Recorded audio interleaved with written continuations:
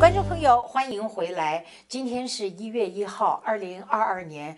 一年复始，万象更新，我们都有新的嘉宾，有新的知识来呃贡献给各位的观众朋友。今天让我来介绍，在房地产行业已经从事三十五年，到今年就要进入三十六年的 Frank 刘再度回归我们的节目。Frank 你好，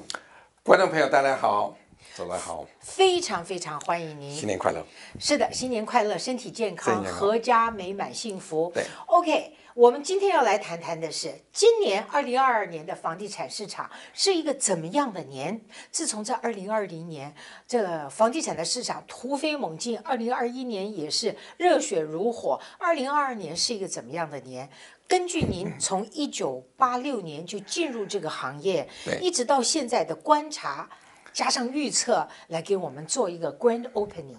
好，谢谢。我我想，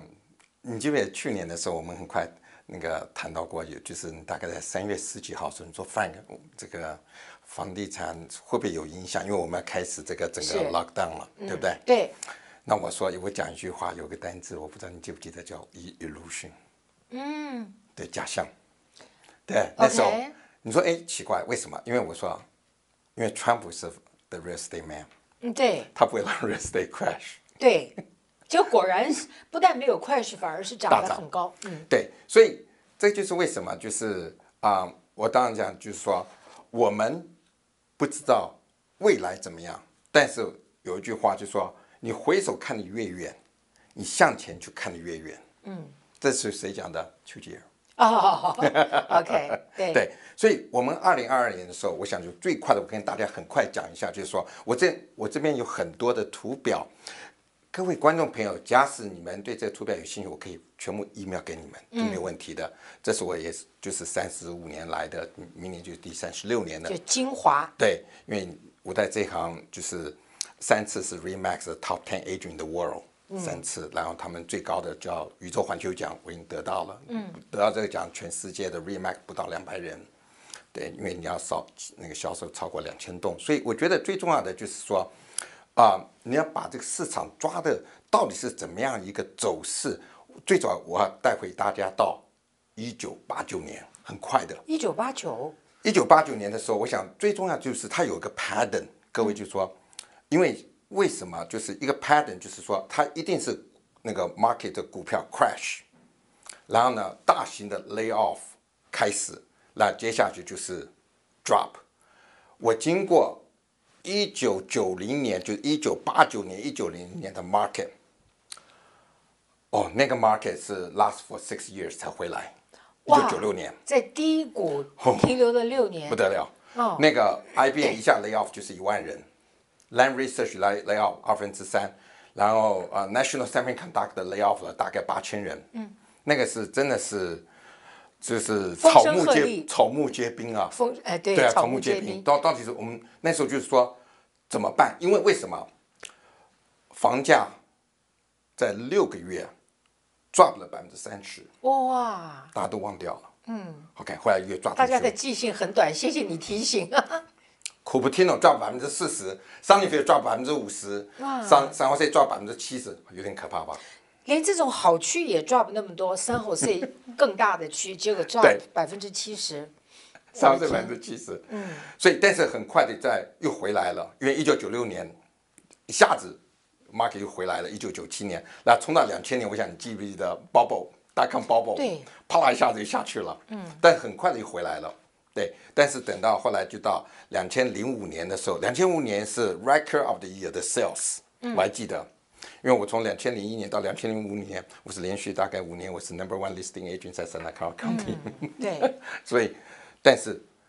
都是有一个 bubble，那那时候就是 bubble 开就 Lehman Brothers 砰一下子没有了，对。对，然后零八年的时候开始 crash，但零九年你记不记得是 foreclosure of the year，但是二零一零年是 short sale of the year，对。哗的就下去了，对。所以这一波就是说，然后很快的就是说，就是当你经过一个趁那个就是很痛苦时期，然后就慢慢慢慢又回来，阵痛期又回来了，又慢慢慢慢又复苏了。二零一八年一个 townhouse，我跟很快跟各位讲一下，他就说这个 market 一下子冲上的时候有多 crazy。一千尺的那个 condo 在二零一七年的十月大概是啊、大概是啊六十七万，但到二零一八年的五月已经到了九十三万，等到二零一八年的十二月回到了这个啊啊七十万。哇，上下很大，所以就说各位就是我我准备很多图表，你想跟各位分享，但是呢，就说最重要就说大家还是 aware 的，就是说今天我们最重要的就是说几几个大方向我们要知道，就是说最好投资的房地产地区，你就告诉我全世界最好投资在哪里，我可以跟你讲。两个金三角，谷歌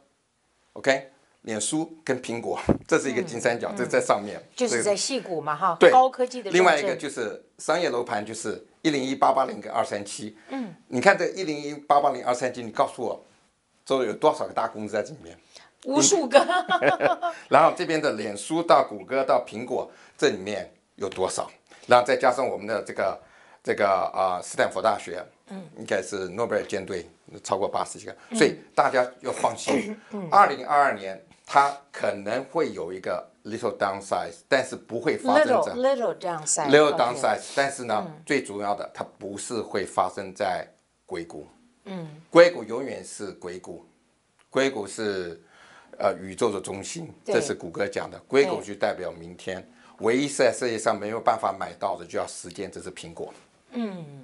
好，那就是二零二二年，就是今年，不可能呃看到大型的 lay off，也没有什么经济垮台，所以房地产应该还是蛮好的，蛮好的还是保持乐观。因为政府印了接近十个兆，对，印了太多的钱了，太多钱了，inflation 很厉害所以都都是一再在股票这样的房地产，所以放心。是的，请大家放心。所以，二零二二年还是房地产的一个大年。那么，其实 Frank 呢，他已经呃愿意把这么宝贵的资料哈，通通跟大家分享。只要在荧光屏上扫描 Frank 的 QR code，他就会愿意把这么多宝贵的资料。寄给您，您就可以知道从过去来预测未来，就是最好的写照。非常感谢你，谢谢我们下个礼拜再仔细谈房地产的今年的情况和还有好何存几集哦，一步一步下去哦。是的，是的。好的，观众朋友，谢谢您。这一段访谈结束，接着还有一段访谈，不要走开，马上回来。